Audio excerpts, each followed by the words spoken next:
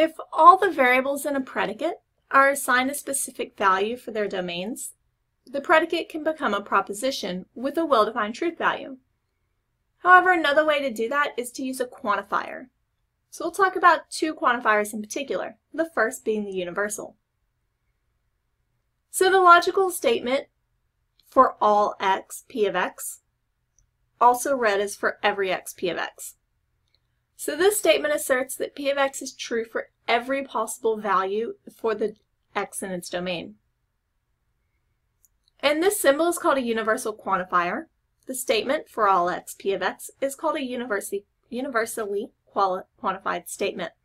So this is saying it doesn't matter what values of x you stick in, it should always be true.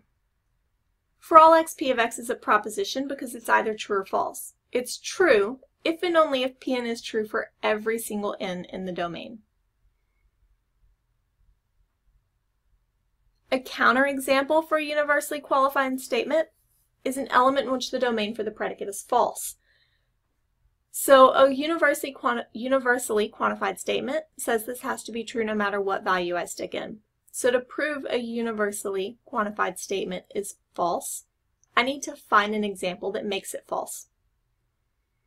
And a single counter example is all that you need to show a universally quantified statement is false. So for example, let's consider the statement, for all x, x squared is greater than x, where the domain is the set of positive integers. If we consider x equal to 1, then we have x squared is equal to x. So the statement's not true. x squared is not greater than x. So x equal to 1 is a counterexample to show that this statement is false. This may be the only positive integer where this works. However, for a universally quantified statement, that's all you need is one exception. So for example, what's the truth value of for all x p of x, where p of x is the statement x squared is less than 10, and the domain consists of the positive integers not exceeding 4? Well, this is false. 4 is in the domain, and 4 squared is not less than 10. We also have existential quantifiers. So this is re read as there exists an x, such that p of x.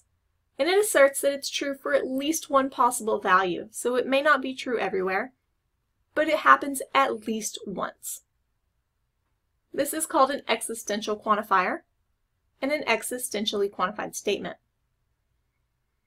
There exists an xp of x as a proposition because it's either true or false.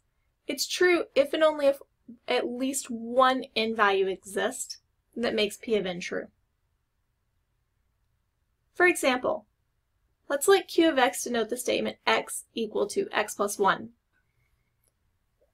We want to know the truth value of there exists an x, such that q of x. Well, this is false. Subtracting x from both sides gives 0 equal to 1, which has no possible solution. If this had a single solution, we would have had it true. If it had more than one solution, it would have still been true. So we need at least one, which in this case we don't have.